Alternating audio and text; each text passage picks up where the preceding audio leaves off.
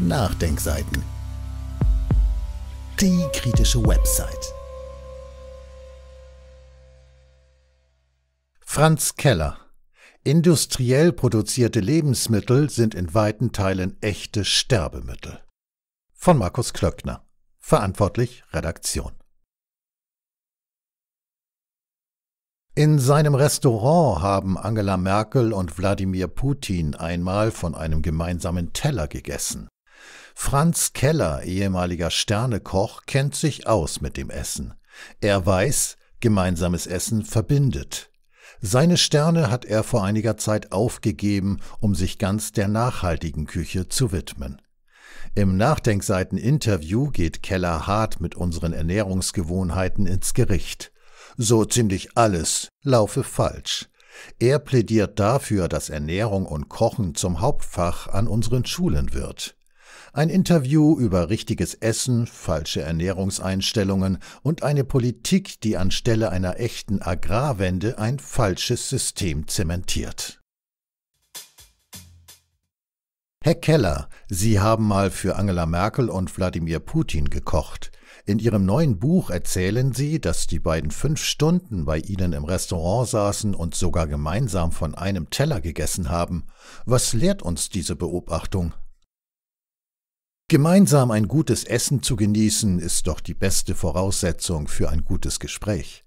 Nicht nur, wenn Politiker sich zum Essen treffen. An einem Tisch zu sitzen und nicht nur eine Mahlzeit zu teilen, sondern auch Ideen und Gedanken auszutauschen oder Probleme zu besprechen, das schafft eine andere Gesprächsatmosphäre und funktioniert auch ganz wunderbar, wenn man sich mit der Familie oder Freunden zum Essen trifft. Nicht ohne Grund ist der Tisch in vielen Häusern und Wohnungen ein Mittelpunkt. Wann fand diese Begegnung denn statt? Ich glaube, das war im Oktober 2007 in meiner Adlerwirtschaft in Hattenheim. Schon damals, so schreiben sie, sei das Klima zwischen Deutschland und Russland eher frostig gewesen. Wenn man bedenkt, wie die Spannungen zwischen den NATO-Staaten und Russland seit der Ukraine-Krise aussehen, wäre es da nicht angebracht, dass so manche Politiker sich mal in Ruhe treffen und lange und ausgiebig miteinander essen? Die beiden können gerne mal wieder bei mir vorbeischauen, wenn es hilft, die Welt ein wenig friedlicher zu machen. Mich braucht man von der sozialen Funktion eines guten Essens nicht zu überzeugen. Ich bin seit mehr als 50 Jahren Koch. Gemeinsam zu essen ist der soziale Kit sowohl für die Familie als auch für die Gesellschaft. Das ist ja mein großes Anliegen. Fangt wieder selber an zu kochen, setzt euch an einen Tisch und genießt die gemeinsame Zeit. Essen verbindet jedenfalls Menschen, aber gilt das auch, wenn die Nahrungsaufnahme nur noch aus Tiefkühlpizza und anderen Fertigprodukten besteht? Das ist ein großes Problem unserer Zeit. Wir haben unser Essen, unsere Ernährung in den letzten Jahrzehnten aus der Hand gegeben und quasi wegrationalisiert. Effizient, fast und to go muss Essen heute sein. Gruselig. Was wir uns da an Fast- und Fertigfutter genehmigen, ist den vielen Menschen offensichtlich egal.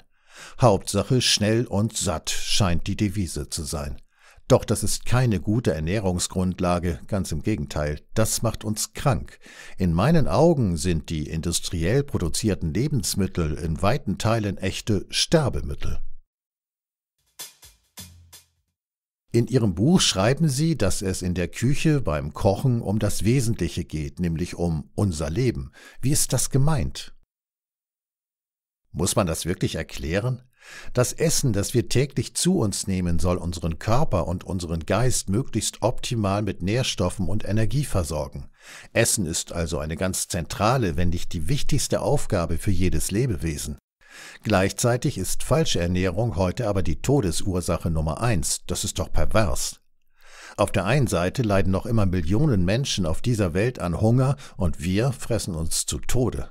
An der Tankstelle darf der Liter Öl fürs Auto gerne mal 45 Euro pro Liter kosten, aber das Öl, das wir für unseren Motor, also für unseren Körper brauchen, kaufen wir dann für 7 Euro. Das Beispiel zeigt ganz gut, dass wir auf einem völlig falschen Dampfer unterwegs sind. Was läuft bei unserer Ernährung falsch? Krass gesagt, so ziemlich alles. Ein Beispiel. In unseren Mastfabriken produzieren wir hochsubventioniertes Billigfleisch in miserabler Qualität und mit hohem Antibiotikaeinsatz. Für das Futter importieren wir Soja, das in Südamerika in riesigen Monokulturen angebaut wird, auf einer Fläche, die der addierten Größe von Hessen und dem Saarland entspricht und für die auch weiterhin der Regenwald gerodet wird. Die Gülle, die aus diesen gigantischen Futtermengen entsteht, landet dann auf unseren Äckern und verursacht ein massives Nitratproblem, nur damit wir unser Billigfleisch dann wieder in andere Länder exportieren, wo wir die landwirtschaftlichen Strukturen zerstören. Das ist ein völlig perverser Kreislauf, der die Menschen krank macht und unseren Planeten zerstört. Wir brauchen deshalb dringend eine radikale Agrar- und Energiewende, und die kann jeder auch für sich persönlich einleiten. Mein Plädoyer heißt deshalb ab in die Küche. Fangt wieder an, möglichst jeden Tag selber zu kochen, mit authentischen und unverarbeiteten Lebensmitteln, denn nur so können wir die Kontrolle über unsere Ernährung zurückgewinnen. Wahrscheinlich wissen viele Menschen durchaus, dass die Ravioli aus der Büchse nicht optimal sind. Nur, wenn man morgens um acht aus dem Haus geht und abends erst nach Hause kommt, dann kann man schon mal das Waschen von ein paar Tomaten oder eines Salats als zu viel empfinden. Oder sehen Sie das anders? Wie kann eine gesunde Ernährung selbst bei einem sehr stressigen Arbeitsleben gelingen? Kochen ist ein Abfolgeprozess. Je öfter wir es tun und je vorausschauender wir dabei planen, desto einfacher und schneller wird es. Und mir kann keiner erzählen, dass es dafür keine Zeit gibt. Der durchschnittliche Konsum audiovisueller Medien liegt heute schon bei rund 10,5 Stunden. Eine Stunde weniger glotzen oder daddeln und dafür etwas Gutes kochen, das kann sich jeder einrichten. Klar müssen wir auch raus aus unserer Bequemlichkeit. Kochen und Essen müssen wieder ein Ritual werden, das wir ganz bewusst in unseren Alltag einbauen. Zeit ist doch auch das, wofür wir uns sie nehmen, und wenn wir uns den Stellenwert einer guten und ausgewogenen Ernährung für unser eigenes Wohlbefinden wieder bewusst machen, ist selber Kochen keine Zeitverschwendung oder Arbeit, sondern ein echtes Vergnügen. Ein anderes Beispiel. Wer in der Mittagspause rasch etwas Warmes essen möchte, hat es oft nicht leicht, etwas zu finden, das rasch zubereitet, einigermaßen günstig, sättigend und auch noch gesund ist. Zugespitzt bleibt oft nur die Wahl zwischen Schnitzel mit Pommes oder einem Salat. Sehen Sie auch, dass hier Restaurants ihre Speisekarten optimieren sollten? Ich sehe da beide Seiten in der Pflicht. Köche sollten die Vorreiter und Vorbilder für eine gute und gesunde Ernährung sein. Doch leider hat auch in der Alltagsgastronomie die Conventions-Seuche extremen Einzug gehalten, also das Arbeiten mit fertigen oder halbfertigen Zutaten. Auf der anderen Seite sind insbesondere die Deutschen echte Sparfüchse beim Thema Essen. Gutes Essen hat aber seinen Preis und den sollten wir auch im Restaurant bezahlen, wenn wir eine gute Mahlzeit mit entsprechendem Service genießen wollen. Aber ich halte das auch für eine gute und richtige Investition, vor allem in die Gesunderhaltung unseres Körpers. Sie sagen, Ernährung müsste zum Hauptfach in der Schule werden. Warum und wie würde so ein Fach aussehen? Wenn wir uns die dramatischen Zahlen zu extrem übergewichtigen oder von Diabetes betroffenen Jugendlichen anschauen, ist einfach dringender Handlungsbedarf geboten. Für die Ernährung ihrer Kinder sind selbstverständlich an erster Stelle die Eltern gefordert. Aber wenn rund 40 Prozent der Deutschen nicht mehr oder vielleicht einmal, zweimal die Woche kochen, wo sollen es die Kinder dann lernen? Viele bringen doch schon heute nicht mehr das Schnitzel, das sie in Folie verschweißt kaufen, mit dem Tier in Verbindung, von dem es stammt. Eine umfassende Bildung und vor allem selber kochen, das stellt diese Verbindung zur Natur, von der wir leben, wieder her. Kochen und Ernährung sollten deshalb zum Hauptfach an allen Schulen werden. Das war die individuelle Ebene.